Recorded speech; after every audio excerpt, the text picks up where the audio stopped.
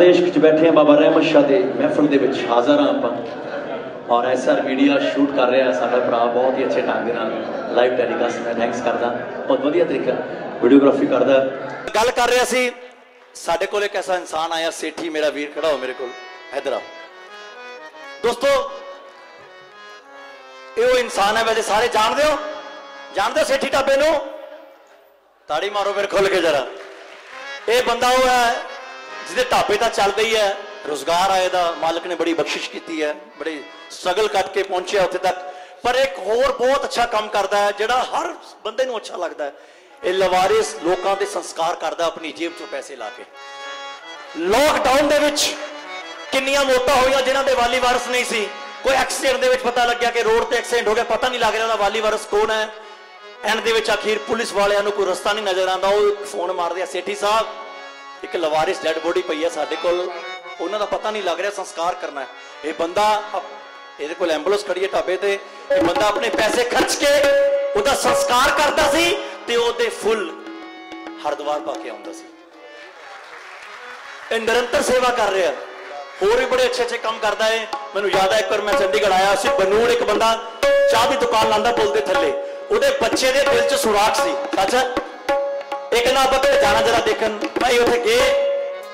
ਕਹਿੰਦਾ ਮੈਨੂੰ ਘਰੋਂ ਆਪਣੇ ਘਰੇ ਲੈ ਕੇ ਚਲੋ। ਘਰੇ ਦੇਖਿਆ ਜੀ ਪਿੱਟਾ ਦਾ ਘਰ ਸੀ। ਇਹਨੇ ਵਾਕਈ ਦੇਖਿਆ ਵੀ ਜੈਨੂਨ ਹੈ ਭਾਜੀ ਸਾਇਲੈਂਟ ਰੱਖਿਓ 10 ਮਿੰਟ ਯਾਰ। ਹੁਣ ਵਾਰੀ, ਜਦੋਂ ਮੇਰੀ ਵਾਰੀ ਹੋਵੇ ਤਾਂ ਵਾਰੀ ਦੀ ਗੱਲ ਹੈ ਤੇ ਇਹ ਬੰਦਾ ਗਿਆ ਨੇ ਜੈਨੂਨ ਦੇਖਿਆ। ਛੋਟੀ ਨਹੀਂ ਉਮਰ ਸੀ ਬੱਚੇ ਦੀ? ਛੋਟੀ ਜੀ ਮੇਰਾ ਗੱਲ 3 3 3.5 4 ਸਾਲ ਦਾ ਬੱਚਾ। ਉਹਦੇ ਦਿਲ 'ਚ ਸੁਰਾਖ ਸੀ ਤੇ ਪੀਜੀਆਈ ਵਾਲਿਆਂ ਨੇ ਕਿਹਾ ਸੀਗਾ ਕਿ 3 ਲੱਖ ਰੁਪਏ ਦਾ ਖਰਚਾ ਆਣਾ ਉਹਦੇ ਇਲਾਜ ਤੇ। ਇਹ ਬੰਦੇ ਨੇ ਵਾਅਦਾ ਕੀਤਾ, ਕਹਿੰਦਾ, ਮੈਨੂੰ ਥੋੜਾ ਜਿਹਾ ਵਕਤ ਦਿਓ। ਮੈਂ ਆਪਣੇ ਵੱਲੋਂ ਵੀ ਔਰ ਲੋਕਾਂ ਤੋਂ ਹੈਲਪ ਲੈ ਕੇ ਇਸ ਬੱਚੇ ਦਾ ਆਪਰੇਸ਼ਨ ਕਰਾਵਾਂਗਾ। ਯਕੀਨ ਕਰਿਓ, ਮੈਂ ਵਾਪਸ ਆਪਣੇ ਲੁਧਿਆਣੇ ਘਰ ਆ ਗਿਆ। ਮੇਰਾ ਉਸ ਤੋਂ ਡੇਢ ਦੋ ਮਹੀਨੇ ਬਾਅਦ ਮਿਲਣਾ ਹੋਇਆ। ਮੈਂ ਇਹਦੇ ਫੇਸਬੁੱਕ ਤੇ ਵੀਡੀਓ ਦੇਖੀ, ਇਸ ਬੰਦੇ ਨੇ ਉਸ ਬੱਚੇ ਦਾ ਆਪਰੇਸ਼ਨ ਕਰਵਾ ਕੇ ਘਰ ਉਸ ਬੱਚੇ ਨੂੰ ਲੈ ਕੇ ਆਇਆ। ਔਰ ਅੱਜ ਬਿਲਕੁਲ ਤੰਦਰੁਸਤ ਹੈ ਮੈਂ ਕਿਹਾ, ਕਿੰਨੀਆਂ ਦੁਆਵਾਂ ਇਸ ਬੰਦੇ ਨੂੰ ਮਿਲਦੀਆਂ ਹੋਣਗੀਆਂ, ਇਹ ਅਸੀਂ ਵੀ ਨਹੀਂ ਜਾਣਦੇ। तो मैं कल लिखी सी कि कर ले कुछ बनाई के काम, ना इससे बड़ा कोई काम नज़र आएगा। कर ले कुछ भलाई के काम, ना इससे बड़ा कोई काम नज़र आएगा। गौर से लेकिन दुनिया वालों में, किसी में राम, किसी में घनश्याम नज़र आएगा। किसी में राम, किसी में घनश्याम नज़र आएगा। सोए बंदा, सल्यूट है यार सिटी तेनों, तेरी तेरी सेवा नई कई बार मन भर आंदा, यार तू ऐसिया निरंतर सेवा, तू ਮੈਂ ਚਾਹਾਂਗਾ ਇਸ ਬੰਦੇ ਦੀ ਤੁਹਾਨੂੰ ਕਦੀ ਕੋਈ ਹੈਲਪ ਦੀ ਲੋੜ ਹੋਵੇ। ਇਹਦਾ ਨੰਬਰ ਤੁਹਾਨੂੰ ਸੋਸ਼ਲ ਮੀਡੀਆ ਤੇ ਮਿਲ ਜਾਊਗਾ। ਵਿੱਚ ਜਗ ਫੋਨ ਮਾਰਿਓ ਕਿਸੇ ਪਤਾ ਲੱਗੇ ਯਾਰ ਅਨੰਤ ਗਰੀਬ ਨੂੰ ਲੋੜ ਹੈ ਕੋਈ ਆਪਰੇਸ਼ਨ ਹੈ ਇਹ ਬੰਦਾ ਦਿਨ ਰਾਤ ਖੜਾ। ਸੇਠੀ ਢਾਬਾ ਕਹਿੰਦੇ ਭੱਜੀ ਫਿਰਦੀ ਹੈ ਰੋਟੀ ਦੇ ਮਗਰ ਦੁਨੀਆ। ਉਹ ਸਾਰੇ ਸੰਸਾਰ ਨੂੰ ਜਿਹਨੇ ਲਾਈ ਰੋਟੀ। ਜੇ ਘਰੇ ਜਨਾਨੀ ਨਾਲ ਲੜਾਈ ਹੋ ਜੇ ਤਾਂ ਸੇਠੀ ਢਾਬੇ ਦੇ ਆ ਕੇ ਖਾਈ ਰੋਟੀ। ਸੱਚੀ ਗੱਲ ਹੈ। ਅੱਛਾ, ਜੇ ਬੰਦਾ ਆਵੇ ਨਾ, ਇੱਕ ਬੰਦਾ ਕੋਈ ਇਦਾਂ ਆਇਆ ਸੀ, ਗੱਲ ਉੱਥੋਂ ਹੀ ਬਣੀ ਸੀ। ਉਹ ਬੜਾ ਪਰੇਸ਼ਾਨ ਸੀ। ਕਹਿੰਦਾ, ਭਾਜੀ, ਕੀ ਗੱਲ? ਕਹਿੰਦਾ, ਯਾਰ, ਘਰੇ ਲੜਾਈ ਹੋਈ ਜਨਾਨੀ ਨਾਲ। ਤੇ ਮੈਂ ਰੋਟੀ ਖਾਣੀ ਆ। ਕਹਿੰਦਾ, ਖਾ ਯਾਰ, ਤੇਰੇ ਕੋਲ ਪੈਸੇ ਵੀ ਨਹੀਂ ਲੈਣੇ। ਇਹ ਹੈਲਪ ਵੀ ਕਰਦਾ ਜਿਹੜਾ ਘਰੇ ਜਨਾਨੀਆਂ ਲੜਾਈ ਹੋ ਜਾਏ ਤੇ ਢਾਬੇ ਤੇ ਪੈ ਨਹੀਂ ਲੈਂਦਾ, ਫ੍ਰੀ ਰੋਟੀ ਮਿਲੂਗੀ। ਠੀਕ ਹੈ, ਕਿਉਂਕਿ ਉਹਨਾਂ ਦਾ ਸਾਰਾ ਤੂੰ ਹੀ ਹੈ ਹੈ? ਕੀ ਬਾਤ ਹੈ, ਸੇਠੀ ਸਾਹਿਬ। ਰੱਬ ਰਾਜੀ ਰੱਖੇ ਤੁਹਾਨੂੰ, ਤੁਹਾਡੀ ਉਮਰ ਦਰਾਜ਼ ਕਰੇ, ਤੁਸੀਂ ਇਦਾਂ ਹੀ ਸੇਵਾ ਕਰਦੇ ਰਹੋ ਬਸ। ਬਹੁਤ ਵੱਡੀ ਗੱਲ ਹੈ, ਸੇਵਾ ਕਰਨੀ ਯਾਰ, ਆਪਣੀ ਜੇਬ ਚੋਂ ਪੈਸੇ ਲਾਣੇ ਜਿਗਰਾ ਚਾਹੀਦਾ ਜਿਗਰਾ। ਕੀ ਬਾਤ ਹੈ, ਸਲੂਟ ਹੈ ਤੈਨੂੰ ਯਾਰ, ਸਲੂਟ ਆ ਹੁਣ ਮੈਂ ਰਮਜ ਦੀ ਗੱਲ ਹੈ ਬਾਬਾ ਜੀ ਗਏ ਨੇ, ਰੂਹਾਂ ਬੈਠੀਆਂ ਨੇ। ਗੱਲ, ਸ਼ੇਰ ਦੋ ਪੜਾਂਗਾ, ਸਿਰਫ ਦੋ। ਉਹਦਾ ਕਰਮ ਹੋਇਆ। ਕਹਿੰਦੇ ਨੇ, ਜਬ ਤੱਕ ਬਿਕੇ ਨਾ ਥੇ, ਤੋ ਹਮੇ ਕੋਈ ਪੁੱਛਤਾ ਨਾ ਥਾ। ਇਸ ਬੰਦੇ ਨੇ ਬੜਾ ਕੁਝ ਦੇਖਿਆ ਜੀ। ਰਗੜਾ ਖਾਦੀ ਰਾਜਨ ਜਾਣਦਾ ਮੇਰਾ ਪੁਰਾਣਾ ਯਾਰ। ਜਬ ਤੱਕ ਵਿਗੜੇ ਨਾ ਥੇ और जब तक बिके ना थे तो हमें कोई पूछता ना था मेरे यार ने खरीद के अनमोल कर दिया ਇਹ ਮੋਰ ਜਦੋਂ ਲੱਗਦੀ ਹੈ ਉਦੋਂ ਹੀ ਸ਼ਬਦ ਵਿਕਦੇ ਨੇ ਇਹ ਤਾਂ ਬੋਲੀ ਚਲੋ ਕੋਈ ਸ਼ਬਦ ਨਹੀਂ ਵਿਕਦਾ ਜਦੋਂ ਉੱਤੇ ਮੋਹਰ ਲੱਗਦੀ ਹੈ ਫਿਰ ਸ਼ਬਦਾਂ ਦਾ ਬਾਬਾ ਜੀ ਮੁੱਲ ਪੈਂਦਾ ਜੇ ਕਿਸੇ ਬਿਨਾ ਤੁਸੀਂ ਸਾਬਣ ਲੈਣ ਜਾਓ ਬਾਜ਼ਾਰ ਦੇ ਵਿੱਚ ਛੋਟੀ ਜੀ ਗੱਲ ਹੈ ਕੋਈ ਕਵੇ ਨਾ ਭਾਜੀ ਆ ਕੋਈ ਨਵੀਂ ਕੰਪਨੀ ਆਈ ਆ ਯਾਰ ਕਿਹੜੀ ਹੈ ਪਤਾ ਨਹੀਂ ਜੀ ਬੰਦਾ ਲੈਂਦਾ ਨਹੀਂ ਕਹਿੰਦਾ ਯਾਰ ਜਿਹੜੀ ਕੰਪਨੀ ਚੱਲਦੀ ਹੈ ਵਧੀਆ ਲੈਕਸ ਉਹਦਾ ਦੇ ਇਸ ਕਰਕੇ ਜਦੋਂ ਮੋਹਰ ਲੱਗਦੀ ਹੈ ਤਾਂ ਫੇਰ ਹੀ ਗੱਲ ਬਣਦੀ ਹੈ ਇੱਕ ਬੰਦਾ ਰੱਬ ਲੱਭਣ ਚੱਲਿਆ, ਹੁਣ ਮੈਂ ਅਸਲ ਗੱਲ ਤੇ ਆਣਾ ਜਿਹੜੀ ਤੁਹਾਨੂੰ ਗੱਲ ਸੁਣਾਉਣੀ ਆ। ਬਾਬਾ ਜੀ, ਬੰਦਾ ਰੱਬ ਲੱਭਣ ਚੱਲਿਆ। ਰੱਬ ਕਿੱਥੇ ਹੈ ਮੰਦਿਰ ਵੀ ਗਿਆ। ਪੂਰਾ ਮੀਨਾ ਸੇਵਾ ਕੀਤੀ, ਓਮ ਨਮੋ ਸ਼ਿਵਾਏ। ਜੈ ਮਾਤਾ ਦੀ। ਜਿੱਦਾਂ ਜਿੱਦਾਂ ਪੰਡਤ ਜੀ ਨੇ ਕਿਹਾ, ਸੇਵਾ ਕੀਤੀ। ਮਹੀਨਾ ਹੋ ਗਿਆ ਕਰਦੇ ਨੂੰ ਕਹਿੰਦਾ, ਰੱਬਾ, ਹੁਣ ਤੱਕ ਗੱਲ ਕਰ ਮੇਰੇ ਨਾਲ ਆ ਕੇ ਤੂੰ ਹੈ? ਓੜੀ ਤੇ ਬੈਠਾ ਰੋਈ ਗਿਆ। ਸਿੱਖ ਭਾਈ ਜੀ ਟਕਰੇ, ਕਹਿੰਦੇ, ਕਿਹਨੂੰ ਲੱਭਦਾ? ਕਹਿੰਦਾ ਜੀ, ਰੱਬ ਨੂੰ। ਕਹਿੰਦੇ ਇੱਥੇ ਮਿਲਿਆ, ਕਹਿੰਦਾ ਜੀ ਮਿਲਿਆ ਨਹੀਂ। ਉਹਨੇ ਬਾਹ ਫੜ ਲਈ, ਕਹਿੰਦਾ ਚੱਲ ਗੁਰਦੁਆਰੇ। ਗੁਰਦੁਆਰੇ ਗਿਆ, ਜੋੜਿਆਂ ਦੀ ਸੇਵਾ ਕੀਤੀ। ਮਹੀਨਾ ਜਿਹੜੇ ਰੁਮਾਲ ਨਾਲ ਸੇਵਾ ਕਰਦਾ ਸੀ, ਉਹ ਰੁਮਾਲ ਆਪਣੇ ਘਰ ਲਿਆ ਕੇ ਪਾਣੀ 'ਚ ਡੁਬੋ ਕੇ ਛਿੱਟਾ ਦਿੰਦਾ ਸੀ। ਸੱਚੇ ਦਿਲ ਨਾਲ ਬਾਣੀ ਪੜਦਾ ਸੀ। ਫਿਰ ਮਹੀਨੇ ਬਾਅਦ ਗੁਰਦੁਆਰੇ ਰੋਣ ਲੱਗਾ। ਕਹਿੰਦਾ, ਹੁਣ ਤਾਂ ਬੋਲ ਯਾਰ। ਉੱਥੋਂ ਵੀ ਨਹੀਂ ਬੋਲਿਆ। ਇੱਕ ਮੁਸਲਮਾਨ ਟਕਰਿਆ, ਕਹਿੰਦਾ ਭਾਈਜਾਨ ਕੀ ਬਾਤ ਹੋ ਗਈ? ਕਹਿੰਦਾ, ਯਾਰ, ਰੱਬ ਨਾਲ ਗੱਲ ਕਰਨੀ ਹੈ, ਰੱਬ ਕਿੱਥੇ ਹੈ? ਕਹਿੰਦਾ ਯਹਾਂ ਨਹੀਂ ਮਿਲਾ ਆਪਕੋ ਕਹਤਾ ਨਹੀਂ ਕਹਿੰਦਾ ਚੱਲ ਮਸਜਿਦ ਉਹਨੇ ਫੜ ਲਿਆ ਮਸਜਿਦ ਲੈ ਗਿਆ ਮਸਜਿਦ 'ਚ ਬਿਠਾਇਆ ਨਮਾਜ਼ਾਂ ਅਦਾ ਕੀਤੀਆਂ ਜਿੱਦਾਂ ਕਰ ਰਹੇ ਸੀ ਅੱਲਾ ਅੱਲਾ ਭਰ ਮੇਰਾ ਗੱਲਾ ਜਦੋਂ ਜਿੱਦਾਂ ਚੱਲ ਰਹੀ ਸੀ ਨਮਾਜ਼ਾਂ ਪੜੀਆਂ ਮੀਨਾ ਜਿੱਦਾਂ ਵੀ ਬਾਣਾ ਉਹਦਾ ਦਾ ਕਰ ਲਿਆ ਦਾੜੀ ਉਹਦਾ ਦੀ ਰੱਖ ਲਈ ਫਿਰ ਮਸਜਿਦ ਦੇ ਬਾਹਰ ਆ ਕੇ ਰੋ ਲੱਗਾ ਕਹਿੰਦਾ ਯਾਰ ਕਿੱਥੇ ਆ ਤੂੰ ਕਿੱਥੇ ਆ ਆਖਿਰ ਦੇ ਵਿੱਚ ਬੰਦਾ ਕ੍ਰਿਸਚਨ ਟੱਕਰ ਗਿਆ ਉਹਨੂੰ ਹੈ ਮੈਨ ਵਾਟ ਪ੍ਰੋਬਲਮ ਕਹਿੰਦਾ, ਯਾਰ, ਗੋਟ ਲੱਭਣਾ। ਕਹਿੰਦਾ, ਗੋਟ ਨੂੰ ਲੱਭਣਾ? ਇੱਥੇ ਨਹੀਂ ਮਿਲਿਆ ਤੈਨੂੰ ਮਸਜਿਦ ਚ? ਕਹਿੰਦਾ, ਨਹੀਂ। ਕਹਿੰਦਾ, ਚੱਲ ਮੇਰੇ ਨਾਲ ਚਰਚ। ਉਹਨੂੰ ਚਰਚ ਲੈ ਗਿਆ। ਉੱਥੇ ਕੀ ਨਜ਼ਾਰਾ ਦੇਖਦਾ ਹੈ? ਐ ਟੰਗੇ ਨੇ, ਕਿੱਲਾਂ ਲੱਗੀਆਂ ਨੇ, ਹੈ? ਯਿਸੂ ਮਸੀਹ ਜੀ। ਕਹਿੰਦਾ, ਯਹਾਂ ਪਰ ਕੈਂਡਲ ਜਲਾਓ ਸੱਚੇ ਦਿਲ ਸੇ। ਯਹਾਂ ਮਿਲेंगे ਉਹਨੇ ਸੋਚਿਆ, ਯਾਰ, ਉਹਨੂੰ ਖੀਰਲਾ ਦਰਵਾਜ਼ਾ ਹੈ। ਇਹ ਵਾਕਈ ਇੱਥੇ ਰਹਿੰਦਾ ਹੋਗਾ ਮੈਂ ਐਵੇਂ ਟੱਕਰਾ ਕਿਤੇ ਹੋਰ ਮਾਰਦਾ ਰਿਹਾ। ਕੈਂਡਲਾਂ ਜਲਾਈਆਂ, ਦਿਨ ਰਾਤ ਕੈਂਡਲਾਂ ਜਲਾਈਆਂ ਇਦਾਂ ਵੀ ਕੀਤਾ। ਐਦਾਂ ਹੀ ਕਰਦੇ ਹੁੰਦੇ ਬਾਬਾ ਜੀ ਇਦਾਂ ਵੀ ਕੀਤਾ। ਕਹਿੰਦਾ, ਯਾਰ ਆਖਿਰ ਇੱਥੇ ਰੱਬ ਮਿਲੂਗਾ। ਮਹੀਨਾ ਫੇਰ ਬੀਤਿਆ, ਚੌਥੇ ਮਹੀਨੇ ਦੀ ਗੱਲ ਹੈ। ਜਦੋਂ ਚੌਥਾ ਮਹੀਨਾ ਆਇਆ, ਉੱਥੇ ਵੀ ਨਹੀਂ ਬੋਲਿਆ। ਆਖਰ ਆਪਣੇ ਕੱਪੜੇ ਫਾੜ ਲਏ। ਚਰਚ ਦੇ ਬਾਹਰ ਪਾਗਲ ਹੋ ਗਿਆ, ਲੋਕੀ ਪੈਸੇ ਸਿੱਟਣ ਲੱਗ ਗਏ। ਇੱਕ ਚਾਹ ਵਾਲਾ ਖੋਖਾ ਲੱਗਾ ਸੀ, ਕਹਿੰਦਾ, ਯਾਰ ਇਹ ਕੀ, ਕੋਣਾ ਬੰਦਾ? ਸ਼ਕਲ ਤੋਂ ਚੰਗੇ ਕਰਦਾ ਲੱਗਦਾ ਕੱਪੜੇ ਫਾੜੀ ਫਿਰਦਾ ਕਹਿੰਦਾ ਜੀ ਇਸ ਬੰਦੇ ਦਾ ਚੌਥਾ ਮਹੀਨਾ ਹੋ ਗਿਆ ਹੈ, ਰੱਬ ਨੂੰ ਲੱਭਦਾ ਹੈ, ਇਹਨੂੰ ਰੱਬ ਨਹੀਂ ਮਿਲਿਆ ਮੰਦਿਰ 'ਚ ਚਲਾ ਗਿਆ ਗੁਰਦੁਆਰੇ ਚਲਾ ਗਿਆ ਚਰਚ ਚਲਾ ਗਿਆ ਮਸਜਿਦ ਚਲਾ ਗਿਆ ਇਹਨੂੰ ਰੱਬ ਹੀ ਨਹੀਂ ਮਿਲਿਆ ਓਏ ਹੋਏ ਹੋਏ ਹੋਏ ਹੋਏ, ਮੇਰੇ ਮਾਲਕਾ ਉਹ ਕਹਿੰਦੇ ਨੇ ਜਦੋਂ ਚਾਰੋਂ ਦਰਵਾਜ਼ੇ ਬੰਦ ਹੋ ਗਏ ਫਿਰ ਪੰਜਵਾਂ ਦਵਾਰ ਖੁੱਲਦਾ ਹੈ। ਜਦੋਂ ਪੰਜਵਾਂ ਖੁੱਲਿਆ ਕਿ ਰਾਹ ਜਾਂਦੇ ਬੰਦੇ ਨੇ ਉਹਦੀ ਬਾਹ ਫੜੀ ਕਹਿੰਦਾ क्या बात किसको ढूंढ रहे हो कहता यार उस खुदा को ढूंढ रहा हूं मंदिर में भी ना ना गुरुद्वारे मिला ना मस्जिद मिला ना चर्च मिला कहता तुझे पता नहीं खुदा कहाँ रहता है कहता कहाँ तुझे नहीं पता कहता नहीं ਕਹਿੰਦਾ ਇੱਕ ਪੰਜਾਬੀ ਕੇ ਸ਼ਾਇਰ ਥੇ ਉਹਨੇ ਲਿਖਾ था ਬੁੱਲਿਆ ਰੱਬ ਦਾ ਕੀ ਪਾਉਣਾ ਇਧਰੋਂ ਪੁੱਟਣਾ ਇੱਧਰ ਲਾਣਾ ਕਹਿੰਦਾ ਅੱਛਾ ਜੀ ਰੱਬ ਇੱਥੇ ਰਹਿੰਦਾ ਹੈ?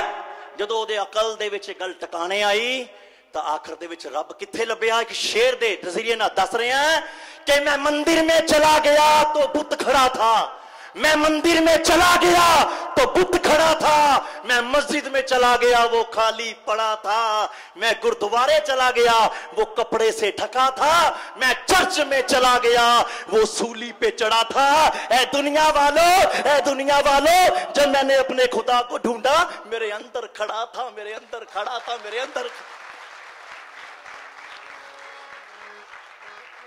रब कितने है? इतने है। फिर उथे है। ਬਾਬਾ ਜੀ ਨੇ ਜਦੋਂ ਸ਼ੁਰੂ ਕੀਤੀ ਸੀ ਨਾ ਪਹਿਲੀ ਕਲਾਸ, ਇੱਥੋਂ ਹੀ ਸ਼ੁਰੂ ਕੀਤੀ ਸੀ। ਫਿਰ ਇੱਥੇ ਤੱਕ ਪਹੁੰਚ ਬਾਬਾ ਜੀ? ਫਿਰ ਇੱਥੇ ਤੱਕ ਪਹੁੰਚੀ ਹੈ। ਬਹੁਤ ਸਾਰਾ ਮਾਨ ਸਦਕਾ, ਪਿਆਰ ਮਿਲ ਰਿਹਾ। ਆ ਮੋਂਟੀ ਰਬੜ ਲਾ ਕੇ ਰੱਖ ਇਹਨੂੰ। ਦਿਲ ਤੋਂ। ਹਾਂ। ਐਕਚੁਅਲੀ ਰੋਲਾ ਹੀ ਬਾਬਾ ਜੀ ਇੱਥੋਂ ਹੈ। ਆਹਾ, ਹਾ ਇਸ਼ਕ ਉਹ ਹੈ।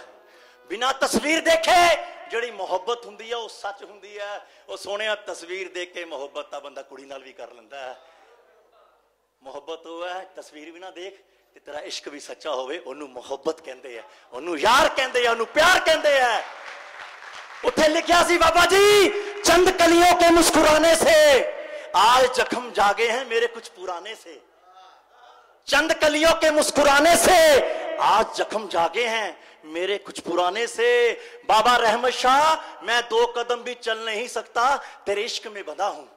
बाबा रहमत शाह, मैं दो कदम भी चल नहीं सकता, तेरे इश्क में बंधा हूँ, तू ही आजा मिलने किसी बहाने से। ते गल है उन्होंने आना पै जाता कई बार ये पत्थरों से प्यार किया, नादान थे हम बाबा जी, शेर का वज़न देखियो। पत्थरों से प्यार किया, नादान थे हम। अरे गलती हुई, इंसान थे हम। पत्थरों से प्यार किया, नादान थे हम। गलती हुई, क्योंकि इंसान थे हम। आज जिन्हें नज़रें मिलाने में तकलीफ़ हो रही है हमसे, कोई वक्त था, उसी शख्स की जानते हम। कोई वक्त था, उसी शख्स की जानते हम।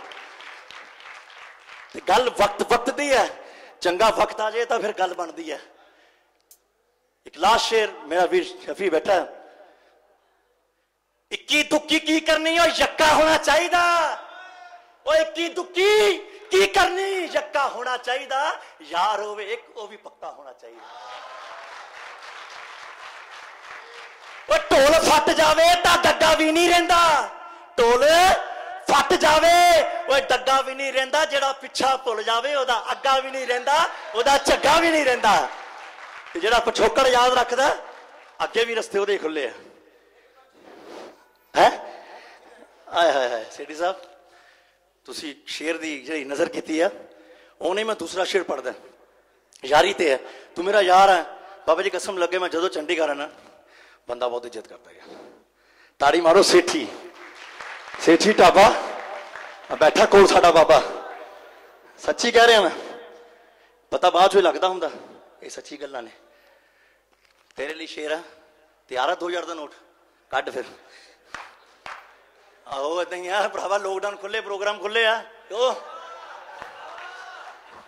ਉਹ ਗੱਲ ਇੰਨੀ ਕਾ ਉਹ ਬਾਬਾ ਜੀ, ਮੈਂ ਨਾ ਸ਼ੁਰੂ ਜਦੋਂ ਸਟਾਰਟਿੰਗ ਜੈਂਕਰਿੰਗ ਕੀਤੀ, ਛੋਟੀ ਜੀ ਗੱਲ ਆ, ਮੈਂ ਸ਼ੁਰੂ ਜਦੋਂ ਸ਼ੁਰੂ ਹੋਇਆ ਨਾ, ਸੰਦੀਪ ਸਾਬਰਾ ਜੀ ਨੇ ਮੈਨੂੰ ਮਾਈਕ ਫੜਾਇਆ, ਰਾਜਨ ਜਾਣਦਾ ਉਹ ਮੈਨੂੰ ਪ੍ਰੋਗਰਾਮ ਤੇ ਲੈ ਗਿਆ ਤੇ ਦੋ ਕੁ ਮੇਲੇ ਦੋ ਤਿੰਨ ਜਗਰਾਤੇ। ਮੈਂ ਰੋਜ਼ ਰਾਤ ਨੂੰ ਜਾਣਾ, ਹੱਥ ਦਿਲੋਂ ਬੋਲਣਾ, ਤੇ ਉੱਥੇ ਉਹਨਾਂ ਨੇ ਮੈਨੂੰ ਸਰੋਪਾ ਦੇਣਾ ਥੋੜਾ ਬਹੁਤਾ ਮਾਨ ਸਮਾਨ ਡੱਬਾ, ਤੇ ਮੈਂ ਆ ਜਾਣਾ ਕਰੇ ਮੇਰੇ ਫਾਦਰ ਸਾਹਿਬ ਕਹਿੰਦੇ ਕਿੱਥੋਂ ਆਇਆ, ਮੈਂ ਕਿਹਾ ਜੀ ਬਰਦਾ ਹਾ ਹਾ ਆਨੰਦ ਆ ਗਿਆ। ਕਹਿੰਦੇ ਕੀ ਲੈ ਕੇ ਆਇਆ? ਮੈਂ ਕਿਹਾ ਆਸ਼ੀਰਵਾਦ ਮਿਲਿਆ। ਡੱਬਾ ਦੇਖਿਆ, ਉਹਨਾਂ ਨੇ ਪ੍ਰਸ਼ਾਦ ਲਿੱਤਾ, ਸਰੋਪਾ ਮਿਲਿਆ ਆਹਾ ਖੁਸ਼ ਹੋ ਗਏ। ਦੂਏ ਦਿਨ ਫੇਰ ਜਗਰਾਤਾ, ਫੇਰ ਵਾਲੀਆ ਰਾਤ ਸਵੇਰੇ ਤੜਕੇ ਆਇਆ। ਕਹਿੰਦੇ, ਪੁੱਤਰਾ, ਕੀ ਮਿਲਿਆ? ਮੈਂ ਬਾਬਾ ਜੀ ਆਸ਼ੀਰਵਾਦ ਤੀਜੇ ਦਿਨ ਫੇਰ ਚੌਥੇ ਦਿਨ ਪੰਜ ਦਿਨ ਹੋ ਗਏ। ਮੇਰੇ ਬਾਪੂ ਨੇ ਮੈਨੂੰ ਕੋਲ ਬਿਠਾ ਲਿਆ। ਸੁਣੀ, ਜਿਹੜੀ ਗੱਲ ਮੈਂ ਸੁਣਾ ਲੱਗਾ। ਕੋਲ ਬਿਠਾ ਲਿਆ। ਕਹਿੰਦੇ, ਪੁੱਤਰਾ, ਕਿੰਨਾ ਕੁ ਆਸ਼ੀਰਵਾਦ ਇਕੱਠਾ ਹੋ ਗਿਆ? ਮੈਂ ਬਾਬਾ ਜੀ, ਪਾਪਾ ਜੀ, ਇੰਨਾ ਸਾਰਾ। ਕਹਿੰਦੇ, ਆ ਚਲੀਏ ਫਿਰ ਕਰਿਆਨੇ ਦੀ ਦੁਕਾਨ ਤੇ। ਕਹਿੰਦੇ, ਲਾਲਾ ਜੀ, ਮੁੰਡੇ ਕੋਲੋਂ ਆਸ਼ੀਰਵਾਦ ਲੈ ਲਓ ਤੇ ਇਹਨੂੰ ਰਾਸ਼ਨ ਦੇ ਦਿਓ। ਤੇ ਲਾਲੇ ਨੇ ਚੱਕਲੀ ਡਾਂਗ, ਕਹਿੰਦਾ, ਨੋਟ ਲਿਆ, ਰਾਸ਼ਨ ਤਾਂ ਹੀ ਮਿਲਣਾ ਆਸ਼ੀਰਵਾਦ ਨਾਲ ਨਹੀਂ ਮਿਲਣਾ। ਇਹ ਵੀ ਜ਼ਰੂਰੀ ਹੈ। ਪਤਾ ਕੀ ਗੱਲ ਹੈ? ਇਹ ਸੱਚੀਆਂ ਗੱਲਾਂ ਫਕੀਰਾਂ ਦੇ ਹੱਥ ਮਾਇਆ ਨਹੀਂ ਟਿਕਦੀ। ਬਾਬਾ ਜੀ ਦੇਖਿਆ? ਸਿਰਦੇ ਆ। ਕਦੀ ਟਿਕ ਨਹੀਂ ਸਕਦੀ ਮਾਇਆ, ਕਿਉਂਕਿ ਇਹਨਾਂ ਨੂੰ ਮਾਇਆ ਨਾਲ ਪਿਆਰ ਹੀ ਨਹੀਂ ਹੈ। ਪਿਆਰ ਹੀ ਯਾਰ ਨਾਲ ਹੈ। ਤੇ ਜਿੰਨਾ ਪਿਆਰ ਯਾਰ ਨਾਲ ਕਰੀ ਜਾਓਗੇ, ਮਾਇਆ ਹੋਰ ਆਈ ਜਾਊਗੀ। ਸੱਚ ਹੈ। ਕਿ ਯਾਰ ਨੂੰ ਯਾਰੀ ਦਾ ਮਜ਼ਾ ਤਦ ਆਉਂਦਾ। ਯਾਰ ਨੂੰ ਯਾਰੀ ਦਾ ਮਜ਼ਾ ਤਦ ਆਉਂਦਾ ਜਦੋਂ ਯਾਰ ਨੂੰ ਯਾਰ ਦੀ ਖਿੱਚ ਹੋਵੇ। ਉਧਰੋਂ ਉਹ ਨਿਕਲੇ, ਇਧਰੋਂ ਮੈਂ ਨਿਕਲਾ। ਮੁਲਾਕਾਤ ਬਾਬਾ ਰਹਿਮਤ ਸ਼ਾਹ ਦੇ ਦਰਬਾਰ ਦੇ ਵਿੱਚ ਹੋਵੇ।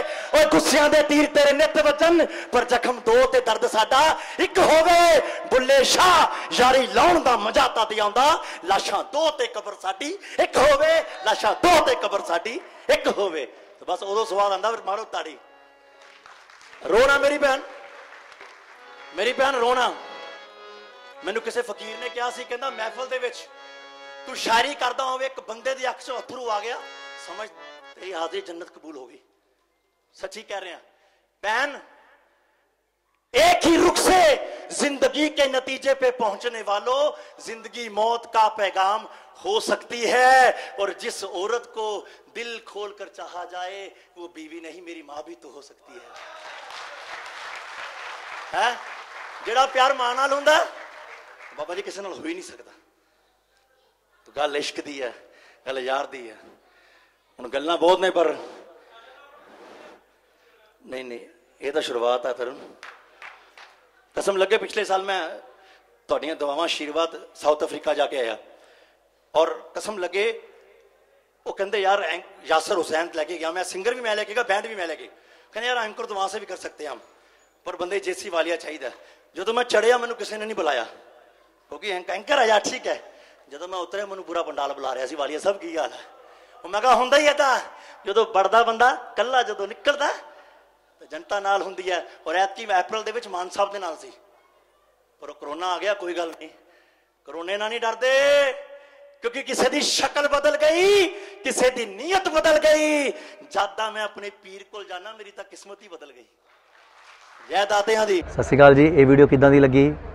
ਲਾਈਕ ਕਰਕੇ ਦੱਸਿਓ ਕਮੈਂਟ ਕਰਕੇ ਦੱਸਿਓ। ਐਸ ਆਰ ਮੀਡੀਆ ਬਹੁਤ ਹੀ ਖੂਬਸੂਰਤ ਚੈਨਲ ਹੈ YouTube ਸਬਸਕ੍ਰਾਈਬ ਕਰ ਦਿਓ ਲਾਈਕ ਕਰ ਦਿਓ ਕਮੈਂਟ ਕਰ ਦਿਓ। ਜ਼ਰੂਰ ਦੱਸਿਓ, ਅਸੀਂ ਵੇਟ ਕਰਾਂਗੇ। Love you all